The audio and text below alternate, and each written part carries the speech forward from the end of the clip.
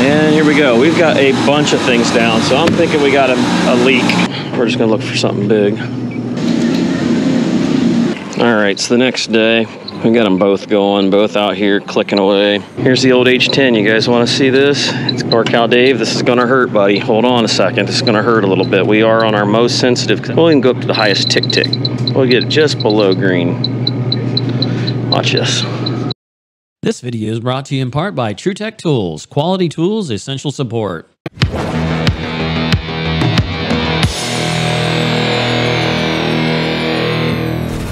All right, so we've got us a grocery store. That's not working very well. Supposedly it's up to 50 to 60 degrees, which generally means nobody was watching possible alarms. So let's go in here and see what we can find out. All right, so we just climbed up here. And here we go. We've got a bunch of things down, so I'm thinking we got a, a leak. A8 is working, but A7's not. And then deli case here is not doing well. I think she told me produce too. So it's all on A. This is A. Compressor's running, compressor's running, compressor's running, compressor's running. Liquid level's nothing. That's at zero. Quite a bit of disturbances there. I just came out of a defrost. We got a hot gas defrost going on. All right, let's go ahead and get this thing juiced up a little bit. Gonna have to go grab the long uh, hose because I'm not run that thing up here. Yeah, everything's on. I changed one of the defrost clocks, which these are all working. I doubt they're all going into defrost at the same time. As you can see, they're all staggered. Let's get this turned on and calibrated outside here. All right, we're zeroed out. Hopefully it don't go off. Oh boy. So they've got that already uh, blanketed off. Do a little coast along here. If it's a real leak, we're gonna maybe picking up something. We're just gonna look for something big. That way we don't dump it in there right away and have problems. Got a rubber seal in there. Works pretty good. Now we'll uh, lead this hose out to the outside because last thing I want is false alarms. We're just bleeding out the air. Yep, got it. Been trying out these crescents. They've been pretty good. I like the side cutters and the linesmans have been pretty good. He's got a nice uh, end on them that grips right a hold of a cap. As you can see, you can't hardly get in here with your bare hand. Uh, you'd think they'd put a suction port on the suction manifold, but eh. There's one there, but it's more hassle than it's worth to screw with. There we go. Let her eat. And then we'll dump the other side into another port here. Take your pick. I picked this one because it was so uh, warm. I wanted to make sure it was going to be on for a while. And we'll start dumping in there too. We're gonna go ahead and start scanning the rack, see if we got anything going on here in the rack area. Unfortunately, we got nothing so far. We'll check up here on the uh, up on the roof and see if there's anything up there.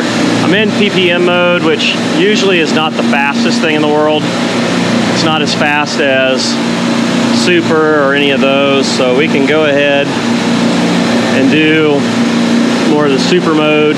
I've had a lot of leaks on these uni struts. The idiots put them on and didn't put clamps on all of them. Now these ones here look like they all have clamps, but if they don't, they'll rub right through and eat right through it. I mean, you should figure it's gonna be a decent sized leak. Something I should be able to pick up pretty easy. I just went ahead and scanned over all this here, here, all the manifolds, briefly underside. It is really windy out here. Uh, fans are not even running. But I went through all the different ports on the side of the condenser, looked through all that. If it was a monster leak, you would probably see some oil up here on the roof. I see nothing out here. Now something that's kind of bothersome is they said that bakery freezer, which is on the B circuit, not the A circuit or rack, that's the wrong rack. That's on this one. So unfortunately, we might be having some problems with that. Like I said, the level on this thing was really pretty high. Yeah, it's way up there. This one here, it's just finally maybe 5%. You see, even with 5%, you still have still have a sight glass that looks like that. All bubblies. We're at 90 pounds pressure. You can see, that's why I like the sight glass. You can see what's coming through. The heat reclaim comes off that heat reclaim valve right here. So it can either go one or the other, and then it'll come back and then finish out on it. But it comes out, goes to that wall. It's gonna go over there to that air handler. All right, so we're inside the air handler. That uh, line comes on through that side. I just scanned all this coil in here. I do not see any oil anywhere in here. So the line's coming right through there. Like I said, we went through there, it's being pulled that direction, so it would be pulled away from me. But if we lost 100 pounds, now granted, it was pretty low to begin with, so it ain't probably a full 100 that just happened like today, but it's gonna go that direction. And we should be picking it out in the store. And I'm going to, and I'm still not getting anything yet. Everything's working fine in here. We've already scanned this room and that one over there. These things always leak. I picked up something in here, went to the ppm scale, and of course it's not going to do it now that I turn the camera on. How we doing? Well, you're definitely low. Um, I got an itty bitty hit on this one. I didn't get anything big enough to lose 100 pounds or more. I mean, I got Lost 100 pounds or more? at least. It, it's. it's on the roof? I was on the roof already, and I looked at the reclaim, and it seems like it's nothing over at that either. I don't see no oil anywhere. So I mean, it's like Causing everything to go down. oh, when the whole basically the whole system's low, so everything gets starved. So whoever's the last on the loop is the first one to get starved out of refrigerant, and then they get warm. But I mean, it wasn't that high when I was here last week either. That's not uncommon. They don't like to put too much in it because if it does leak, then you lose all that extra for no good reason. All that frozen, and right here, this section right there is all on the pink, and the pink comes back to B and B. B actually has a pretty good level. This is still warm. So A14, which is what I was originally working on that was low. So 14, it's coming back cold.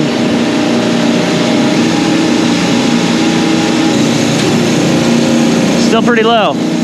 Not even really moving. So we're gonna go ahead and tie onto another one. Let's get this thing up and going. I gotta do something. So right there's my pet brush. It's one of the, used to have one of those little push buttons. So I ripped that off. These are pretty well planted in there, but that works really good to get evaporators clean. We just cleaned the evaporator off in the walk-in. The battery went dead. I'll show you that here in a second. These coolers right here, we just cleaned up. Got the backs cleaned up. They're a lot better than what they were. Here's what we got out of it. Off the back of it. All right, so the rotary clocks here connect this plastic thing. And I changed this clock the other day and used the one that was with it. Well, it ended up breaking off. And that basically is like two fingers hooking onto a flat surface and it rotates them. But It's working. They're all out of defrost, almost all of them. You can actually see a refrigerant level there. 20%, woohoo. But come up to the top, I think is the easiest way to see what's going on. You can see there's a black lever that's going to snap backwards, and that's going to put it in the defrost. We're at 10% right now. So heat reclaim is technically locked out, which it ain't sending none over that direction anyhow. They we just lost 10% again, dang it. What we're gonna need to do is come back tomorrow, follow these lines across the ceilings. I'm not getting anything in the cases on this rack. I got up and double checked some of that area over there and didn't get nothing on that. Basically, there's not a whole lot more I can do tonight. I'm not staying here all night. It's almost seven o'clock. Pulled one of them out of defrost that was just recently gone into defrost because it was See, there's 30%. That's what sucks. You can go from zero to 30 that easy. All right, so the next day, we got them both going, both out here clicking away. Got my power top there for when this H10 Pro goes dead, which will probably be in a half hour. But at least we'll have battery power. Kind of want to see if we get anything as we come through the door. I mean, I've, I've done a million tests on these two, and for the most part, usually Stratus does really good on everything. So what we did, we're shutting down the deli, and the are pretty much controlled only by the suction stop and mainly the EPR valve. The EPR valve mainly regulates it. There is no liquid solenoid on this thing. We're going to stop it. That's going to allow the refrigerant to come through the valve and the TXV come back to here and it's going to stop. It's going to build suction pressure and we'll be able to recheck it. I only have two that have hot gas defrost, which is circuits 10 and 9. When I put those in hot gas defrost, that's going to allow me to get a lot of pressure out there in the evaporator. Heat reclaim lockout happens anytime this goes down to zero. I don't know a lot about the CPC control. These things were installed in uh, 1987, top left one. Uh, so yeah, this thing's just a couple years old. That's the kind of electronics you can actually fix. Big old capacitor still going. You won't see none of today's technology last that long. But you know, we, we were at zero just a little bit ago. We were at 40. Now we're back to 30. It's just all over the place. The H10 is already dead. So we're gonna plug that in. Just gonna put that on the side of my belt right there. And like I said, we're gonna see if we can find this stupid leak. I don't got time for this crap. So now that we've valved that off, that pressure should be built up pretty good in that um, deli case. All right, we may be into something here. This whole row, I went ahead and shut both suction stops. There's two circuits coming into the air band. Look at that. Now look how that's pegging out in super mode. Didn't have that earlier. Here's the old H10. You guys want to see this? It's gonna hurt. It's gonna hurt. NorCal Dave, this is gonna hurt, buddy. Hold on a second. This is gonna hurt a little bit. We are on our most sensitive, because that's how I run my detector all the time. We'll even go up to the highest tick tick. We'll get it just below green. Watch this. Same spot. Ooh, wow. We got a little bitty bitty bit. And we are, we've been running nonstop for about an hour now. Ooh, we got a little bitty bit. And look how long it's taken. Yep. Back away from the H10's the new song, bud. Back away, back away from the H10. See, we get a little something there. But see, if you're crawling along, whoever comes along goes, oh, I'm gonna go slow. Yeah. More like it, most people are so impatient, they're gonna come along and go, oh, da -da. oh look at that. Whoa, wow, whoa, hardy cow. Oh, yeah, look at that. We're getting it down here even. Yep. Crazy. And what kind of parts per million are we at here? Let's find out here. Uh-oh, it's 25. It's over this way, ain't it? H10 couldn't tell me that. Yeah, even at high, it's getting it. Here is medium. Medium, it's not getting it. So you need to learn your detector. What's it take to make this thing go off? Okay, medium's not getting it, only in high. All right, so we found no other leaks except for right here. So let's go get this thing opened up. Unfortunately, I'm having a bad feeling this is going to be up in the coil. You get those fans running there, it's not going to help.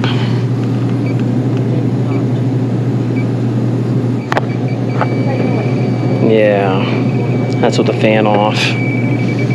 Let's go to parts per million. This ain't going to be good.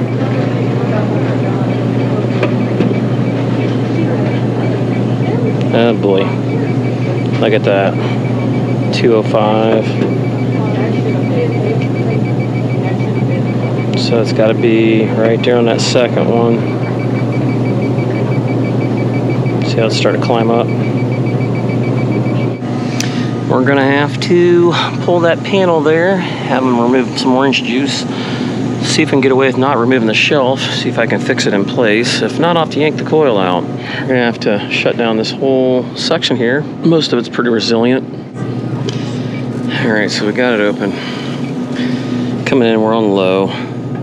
We get down here in low, and unfortunately, it's going down off there. It's not going off here. I don't have my Superior AccuTrak with me because I let somebody borrow it. Yeah. It's hearing something. I wish I had my gooseneck because I could get in there tighter. Let's go ahead and get the headphones on so we can hear actually what it sounds like. I'm not getting like I was earlier, using even the nozzle on the end. I can hear a little bit going through the TXV there. That's about it. So we're gonna have to spray and pray. Picking stuff up in the middle here, but it may be bleeding down. I mean, this stuff is 30 plus years old. Oh yeah, there we go. Now daddy's getting a little happiness. Look at that, 9,000, 900. I was able to pull it out a little bit. I'm going to cut it right here. I'm gonna unscrew it here after I drain this circuit all back to the rack.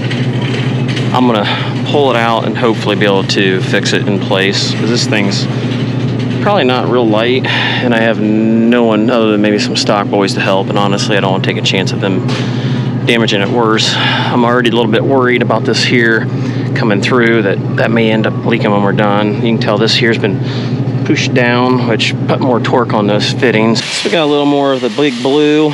You know we're gonna need that. Got the torches. I think it was three quarter inch. We'll know here in a minute.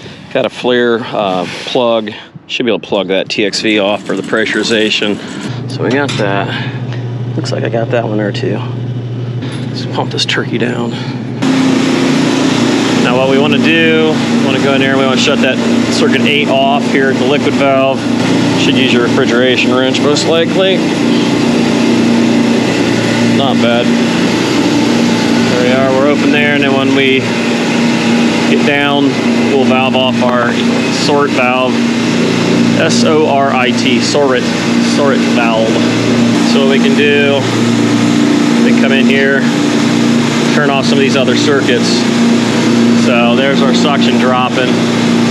We don't want to get too berserko just yet, but we want to get that suction down. I was able to get it down, force it down to about five pounds maybe. Had to force one compressor to run. Slowly bringing it back on because I don't want to just hammer it. All these fans on top are obviously all tied directly to power. Contactor's only the smallest ones in. So we're going to bring in one circuit at a time so that pressure starts to drop. Uh, then they, hopefully the other compressors will start to kick on here. I did reset it. It was an alarm.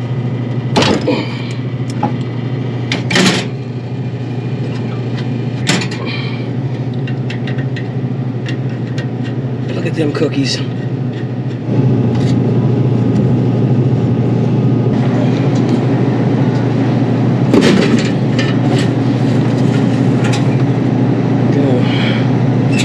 That'll work pretty nice. There we go. So now we gotta get the nitrogen out and see what we gotta fix. That is beautiful.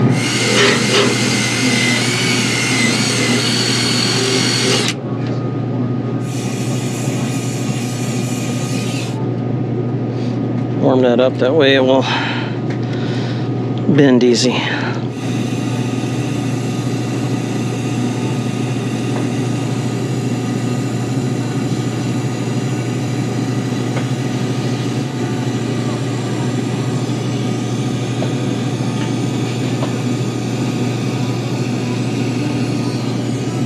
I'll put this on the end, the very end here. I don't want to gum up my stuff too much. Mainly just want to get it on there and so we can do a pressure test on it. That's all I want. We're not worrying about nitrogen on something like this right here. You uh, you don't run nitrogen on a rack unless you absolutely are doing a full-blown galore thing. Um, you'll cause more issues if you contaminate several hundreds of pounds of uh, refrigerant with nitrogen than what you will getting a little carbon in one of the screens. Um, just because it's bigger don't mean it's okay, but what it does mean is don't be an idiot and create some major issues. Um, take it for what it's worth. Do what you want. I've I've done 20 pounds of refrigerant got contaminated by accident. That was enough to make me not get too stupid on uh, certain types of jobs. So let's get pressurized, and we'll, that way we can see where we're at. There's another. We got multiples. End up rebuilding this whole stupid coil once all said and done. Right there. That one there is definitely the mouth breather of the group. So what I do on that, we'll know that that's one of them. We know that I know every one of these here are leaking, so we're just going to do all of them on those. I, it's going to be a bear to get in there to get those. That one right there is leaking really right on the end of it. Now, granted, they're never going to have over 100 pounds on this coil. This is not hot gas, but that's the bad boy right there. Far as anything leaking on the backside, I hope it ain't. We're going to spray it as best we can. They seem like they, you know, did a pretty good job on building these back in the day compared to the junk we got today.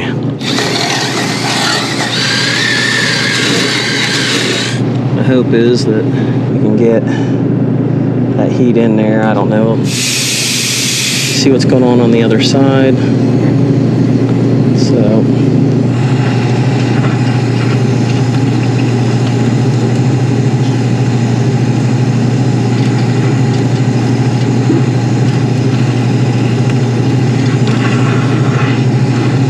There's that one. You need to be able to get in here, and you can't do it very good when you're uh, fighting all this product that's right beside you. There we go. You can see our weak worm up here a little bit. There and it's going to pull it right down to the bottom. Pull her into the inside a little bit. There we go. All right, pull her in, pull her in. One, two, and three, and one more here. Alright, let's get this one here and we'll be done, hopefully. So we got a little bit there, a little bit there. Going into the inside.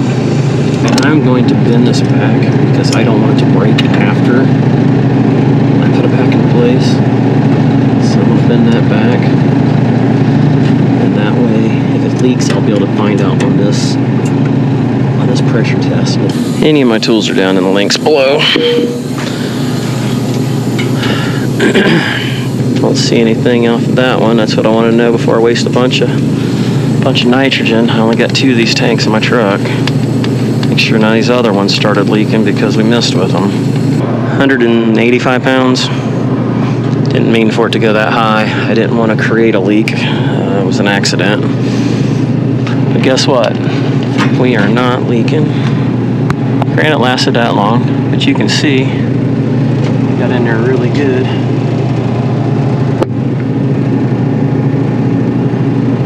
Probably helps that my dad was a welder and he taught me the basics of how to apply your heat and how to make a good weld. He didn't do much brazing, but he did build a uh, M1A1 and M1A2 tank, so you know. I think he might know a little something about making good welds. You won't believe this, but we got another one right there, itty bitty. Stupid piece of junk. what a piece of crap.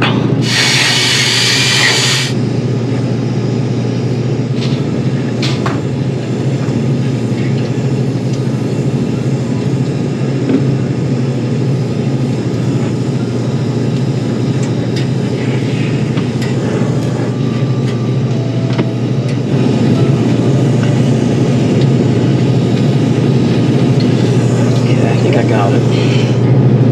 Oh boy, that is beautiful. Oh my goodness, that is beautiful. I can never do something like that with the bigger tip. That makes so much control. That is so, so nice. Pretty handy there. Got all up inside that crevice. Real pretty light. Yep. Somebody already did a repair on that. Look at that little scab job.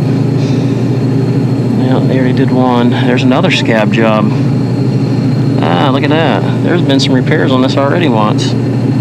You know, all of these could have used it, but I am a f- little bit afraid of creating more leaks than what I fix. Go ahead spray this in here, make sure we're okay here.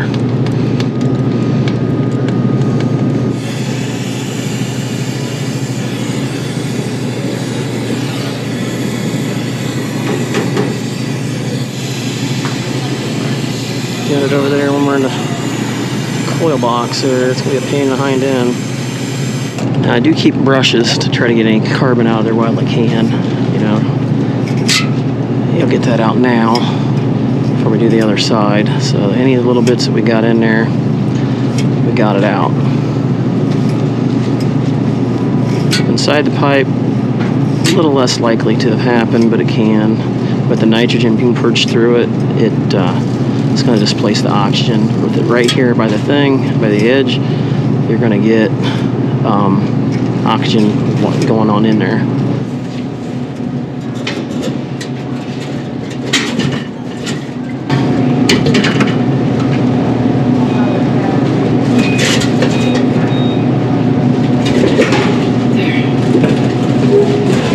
That was a lifesaver.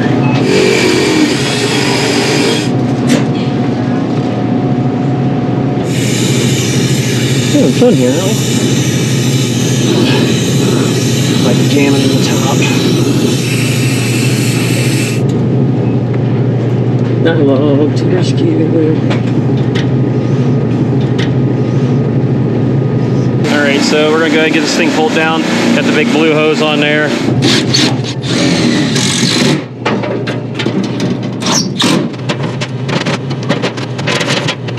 We uh, broke that vacuum with the suction there, brought it up to maybe 15 pounds of pressure, and then uh, took that valve core tool off because it didn't want to come off. It was too tight. Back to 20%. Heat reclaim is back to working. All right, here we go.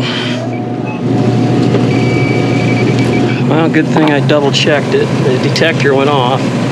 We're leaking on that flare nut there. Son of a bitch.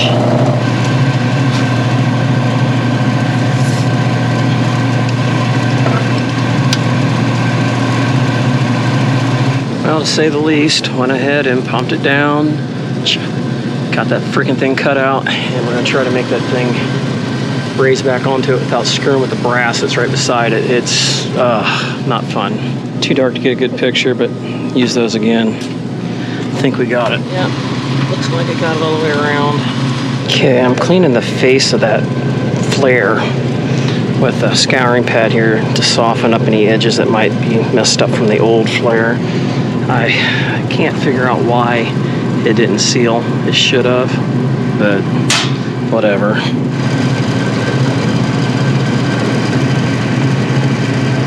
It's starting to freeze on there, unfortunately, but it's it's it's enough there that it would uh, would definitely bubble. Got really lucky. I mean, we only had a stub about that much, and uh, yeah, that's pre-made flare made a lot easier. I don't usually like using them, but uh, in a scenario like this, you'd have to swedge it, flare it, get a nut, screw that. All right, guys, if you enjoyed the video, hopefully you did more than what I did doing it. Leave a comment or a thumb, $20, whatever. So until next time, we'll catch you on the next one. Later.